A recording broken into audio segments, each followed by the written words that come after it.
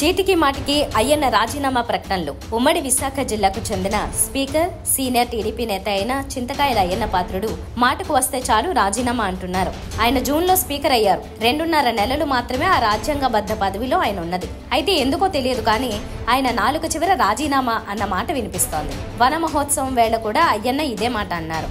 ఆయన అటవీ శాఖ అధికారుల మీద మండిపడుతూ ఈ హాట్ కామెంట్స్ చేశారు. ఇదిలా ఉండగా అయ్యన్న ఇటీవల నర్సీపట్నంలో ఆర్టీసీ స్థలం ప్రైవేట్ వారికి లీజుకి ఇస్తున్నారు అన్న వార్తల మీద కూడా ఫైర్ అయ్యారు. ఇదే విధంగా కొనసాగిస్తే తాను తన పదవికి రాజీనామా చేస్తాను అని అప్పుడు కూడా హెచ్చరించారు. దీనిని చూసిన వారంతా అయ్యన్న ఎందుకు ఇలా పదే పదే తన పదవికి రాజీనామా అంటున్నారు అన్న చర్చకు తెరతీస్తున్నారు. నేడు పులివెందులకు జగన్. నేటి నుంచి పులివెందుల్లో మాజీ సీఎం జగన్ మూడు రోజుల పాటు పర్యటించనున్నారు. బెంగళూరు నుంచి ఉదయం పదకొండు గంటలకు ఆయన కడప ఎయిర్పోర్ట్కు చేరుకుంటారు. ఇటీవల అనారోగ్యంతో మరణించిన పార్టీ నేత చంద్రారెడ్డి కుటుంబ సభ్యులను పరామర్శిస్తారు.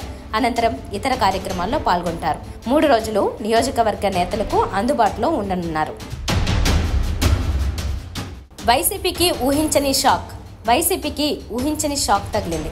ఇద్దరు ఎమ్మెల్సీలు తమ పదవులకు పార్టీ ప్రాథమిక సభ్యత్వాలకు రాజీనామాలు చేశారు. వైసీపీని వీడిన ఆ ఇద్దరు ఎమ్మెల్సీలు బల్లి కళ్యాణ్ చక్రవర్తి కరి పద్మశ్రీ. ఉమ్మడి నెల్లూరు జిల్లా నుంచి కళ్యాణ్ చక్రవర్తి ప్రాతినిధ్యం వహించేవారు. కరి పద్మశ్రీ గవర్నర్ కోటాలో నామినేట్ అయ్యారు. ఈమె మత్స్యకార సామాజిక వర్గానికి చెందిన మహిళ.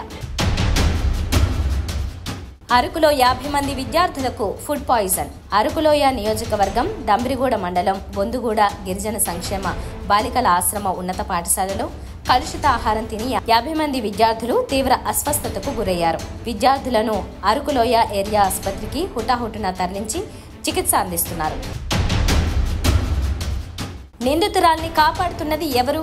గుడివాడ గుడ్లవల్లేరు ఇంజనీరింగ్ కాలేజీలో విద్యార్థులకు సంబంధించిన మూడు వందల పైగా న్యూడ్ వీడియోలు బయటకు వచ్చాయని వార్తలు వస్తున్న ఘటనలో ఆరోపణలు ఎదుర్కొంటున్న విద్యార్థిని గుట్టుచప్పుడు కాకుండా హాస్టల్ నుండి పంపించి వేసిన యాజమాన్యం. మిగతా విద్యార్థులు దాడి చేయడానికి యత్నించగా మిడిల్ ఫింగర్ చూపించిన సదరు యువతి నిందితురాలు వెనుక అధికార పార్టీ ఉందని విద్యార్థులు ఆరోపిస్తున్నారు. అందుకే అర్ధరాత్రి పోలీసుల ప్రొటెక్షన్తో తీసుకెళ్ళారంటూ వాపోతున్నారు.